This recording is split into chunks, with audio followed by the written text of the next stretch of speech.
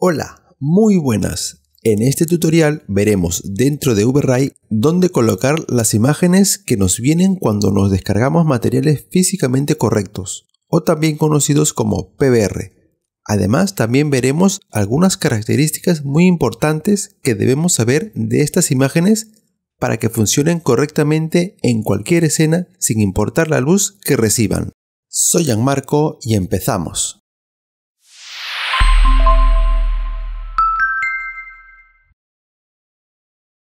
Cuando nos descargamos un material PBR, estas son las imágenes que nos podemos encontrar. El creador del material nos ha dejado una muestra de cómo debería ser el resultado final. Vemos que es un material metálico que tiene algunas rayaduras, golpes y algunas partes que no son metálicas, o también conocidos como dieléctricos. Este es el resultado que vamos a intentar conseguir tras usar estas imágenes o alguna de ellas. Antes de llevarnos estas imágenes al 3D Max, vamos a analizar cada una de ellas. Por ejemplo, esta de aquí nos viene con el nombre col o color. También algunas veces vendrán con el nombre de albedo o color difuso. En esta imagen veremos el color que tendrá el material. Aquí no incluye las sombras, ni las reflexiones, ni tampoco la altura. Solo tendrá que ser el color que tiene el material. En este lado de aquí tenemos dos imágenes bastante parecidas, en donde pone DISP, de desplazamiento.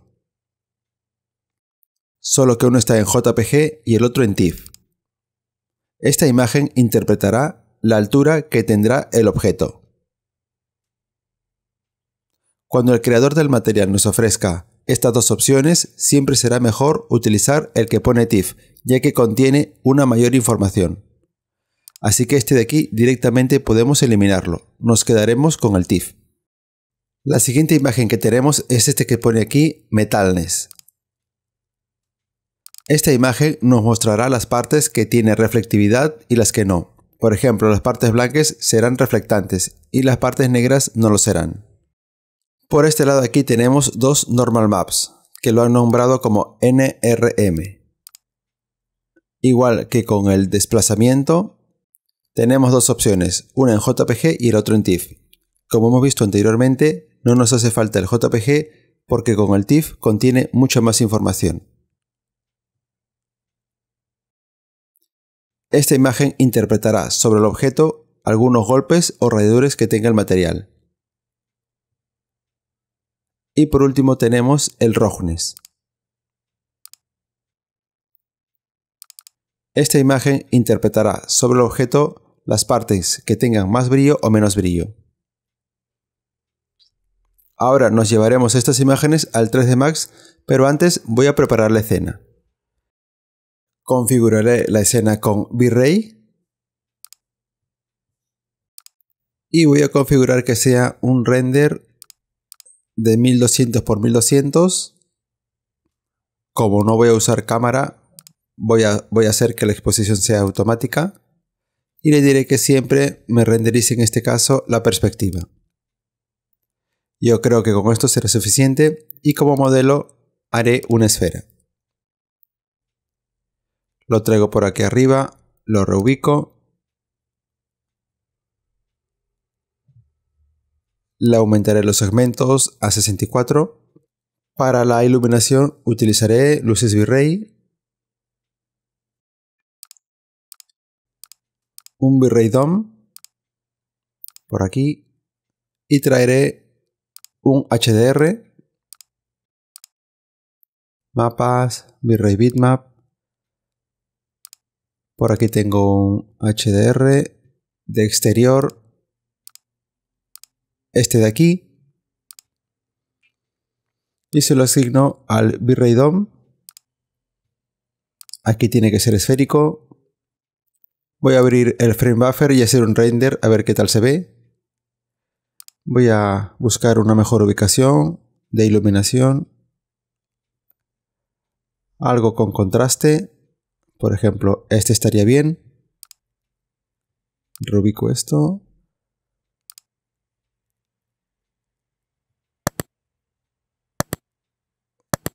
Voy a ajustar aquí cómo se va a ver el render, por ejemplo las altas luces, voy a bajarlo a 0.1.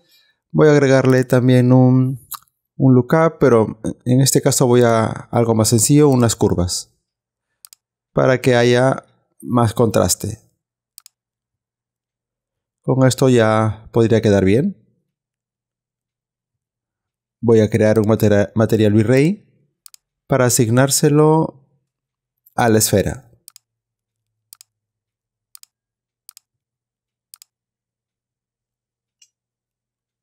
A esta esfera voy a ponerle las coordenadas con UVMap en esférico y tileado 2 porque he visto que las imágenes son cuadradas. Ahora sí empezaré por traer las imágenes. Comenzaré por esta que es la de color. Y esta imagen de color va en el diffuse.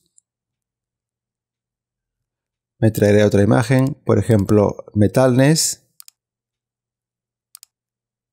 A partir de ahora todas las imágenes que nos traigamos tendrán que ser lineales. Y para que sean lineales marcamos el override 1.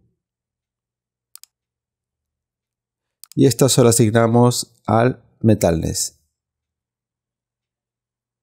Si desmarcamos esta opción un momento, vemos que el metalness nos muestra las partes blancas serán las que tengan mayor reflectividad y las partes negras no tendrán reflectividad. Le vuelvo a colocar. Tener en cuenta que cuando estamos creando un metal, la reflectividad siempre tendrá que estar en color blanco para que funcione correctamente el material.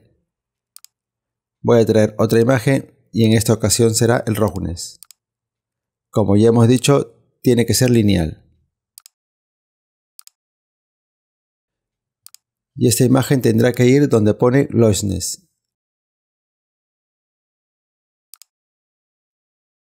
Y para que funcione correctamente le tenemos que decir aquí que no use el glossness, sino se use como roughness. Ahora solo nos queda dos imágenes, el normal map y el mapa de altura. En muchas ocasiones estas dos imágenes son idénticas, y se utiliza solo una de ellas, pero vamos a analizar por qué. En este caso vamos a tener que usar las dos. Abramos el de desplazamiento y vemos que tiene unas manchas que nos va a mostrar o a interpretar la altura del objeto. Veamos ahora el normal map. En esta no hay solo la altura, sino también hay detalles como golpes y rayaduras. Es por ese motivo que vamos a tener que usar las dos texturas. Primero nos traemos el normal map. Como ya sabemos, tiene que ser lineal.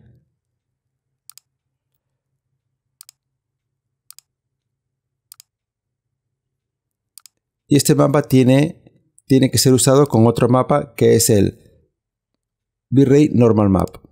Y va dentro de mapa de normales. Y este a su vez va dentro del BAM. Y el BAM tiene que estar siempre a 100. Ya que los detalles lo controlaremos con este valor. Antes de seguir con la textura de altura, vamos a analizar un poco la textura de normales. Vamos a quitar todas estas opciones, solo nos quedaremos con la de normales. Y me acercaré un poco para ver cómo se está interpretando. A ver si encuentro una parte donde podamos notarlo. Voy a exagerar este valor a 3.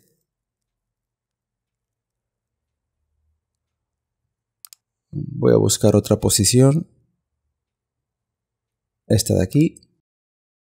Las normales se están interpretando en este objeto y me doy cuenta que, algo, que hay algo extraño. Las luces vienen de este lado, pero las sombras no se están interpretando correctamente. Veo que estas marcas de aquí, que deben ser un golpe, deberían estar hundidas y me doy cuenta que están un poco como sobresalidos. Y estas marcas de aquí también, que debería estar hundido, están un poco sobresaliendo. Esto me indica que las normales no se están interpretando correctamente. Una forma de corregir esto es dentro del VRay normal marcar esta opción, que se inviercan el canal verde. Antes de marcarlo, voy a guardar este render para poder compararlo.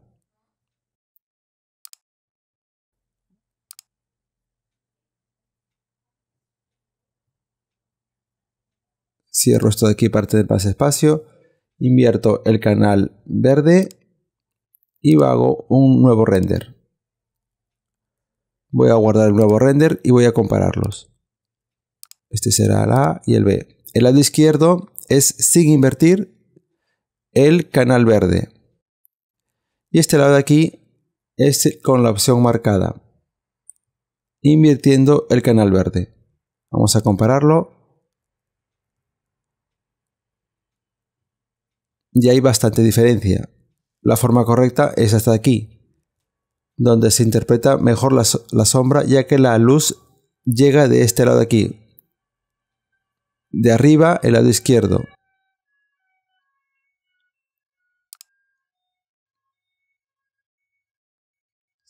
Del lado derecho se interpreta mucho mejor.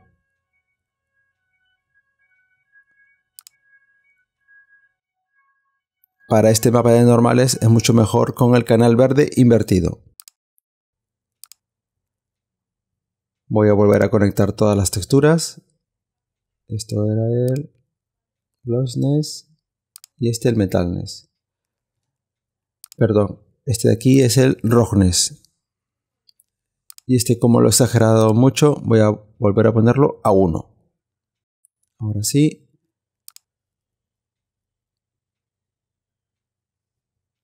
ya se está interpretando correctamente. He escuchado que muchos aconsejan quitar el filtrado, es decir, ponerle non, para ganar nitidez en la textura de normales. Yo lo he probado y la verdad que no se gana mucho, mucha más nitidez ni detalles.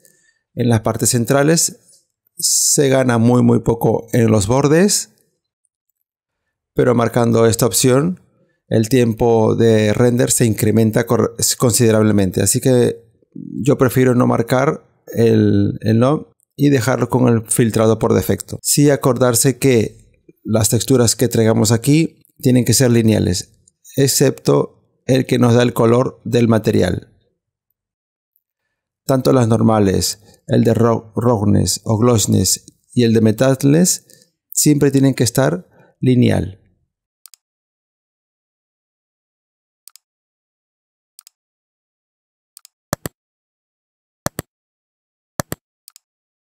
Vamos a ver este de aquí. Y se lo asigno al Virrey DOM. Se lo asigno instancia.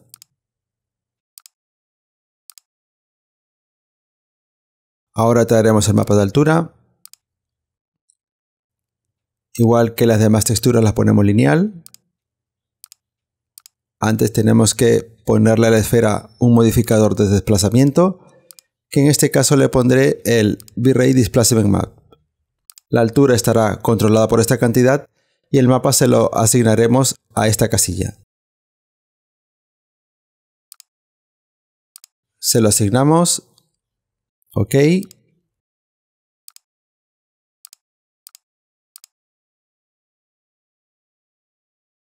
compararé el material que he creado con la muestra que nos ha dejado el autor del material. He tratado de ponerle una iluminación muy parecida y vemos que nos ha resultado idéntico. Vamos a probar con otro material. Crearé un nuevo material y se lo voy a asignar a la esfera. El material nuevo que voy a crear va a ser este de aquí, un dieléctrico. Es un muro de piedras. Trataré de que se vea igual con las imágenes que nos ha dejado el autor. En esta opción también se nos presenta dos archivos de altura, JPG y TIFF. Como hemos dicho anteriormente, siempre usaremos el TIFF. Si por ejemplo tuviéramos un TIFF y un XR, usaríamos el XR y borraríamos el TIFF. Anteriormente habíamos usado los mapas de, 3D Max, pero esta vez usaremos los mapas de V-Ray.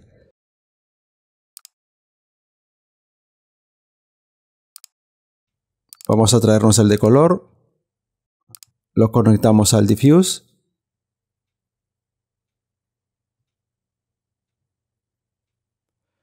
Luego otro mapa V-Ray para traer el glossness. Lo conectamos al glossness. Aquí vamos a ponerle la reflectividad al 100% en las nuevas versiones de Overray, aunque tengamos texturas de reflejos, no va a ser necesario usarlas, ya que solo hace falta, basta con ponerle en blanco, es decir, aquí el autor nos ha proporcionado el mapa de reflejos, pero no lo vamos a usar, porque como estoy mencionando, basta con poner la reflectividad en blanco y será suficiente. Ahora traeré la textura de altura.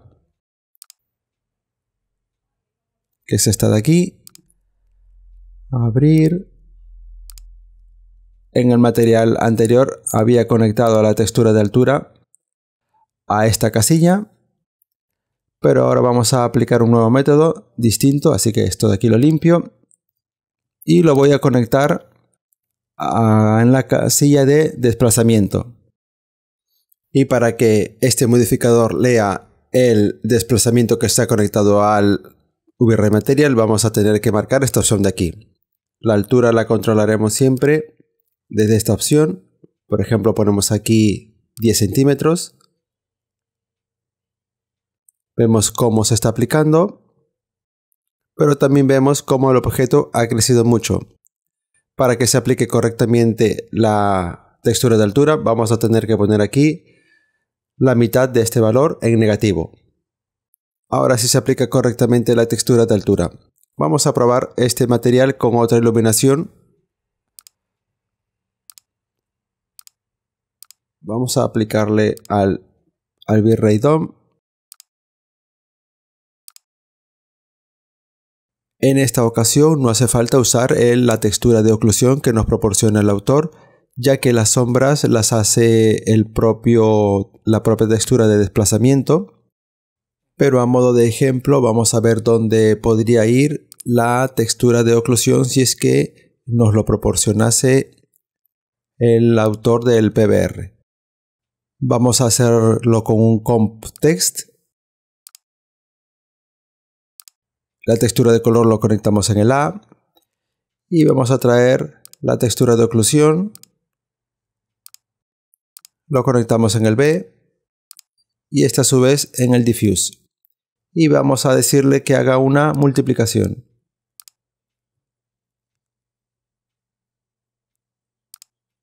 Para controlar la cantidad de textura lo podemos controlar con este valor. Ahora lo tenemos en 1.0 y está bastante exagerado. Vamos a bajarlo a 0.5. Se ve bastante bien.